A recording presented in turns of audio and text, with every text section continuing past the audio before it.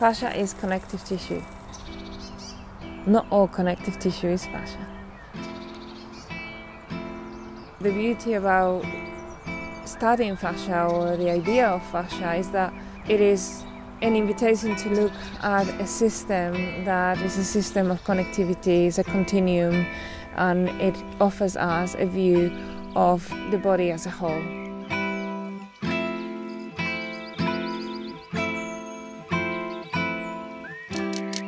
Doing human dissection, you get to see what the inside of the body looks like and what the different structures look like.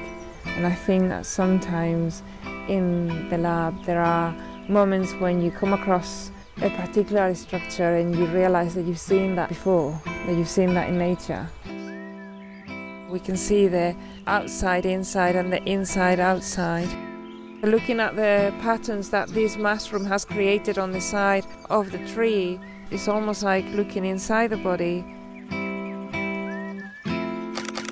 There are vessels in trees and there are mesenteries in mushrooms and we see how there is superficial fascia also not just in the living organisms but also in the bigger structures that go beyond our realm.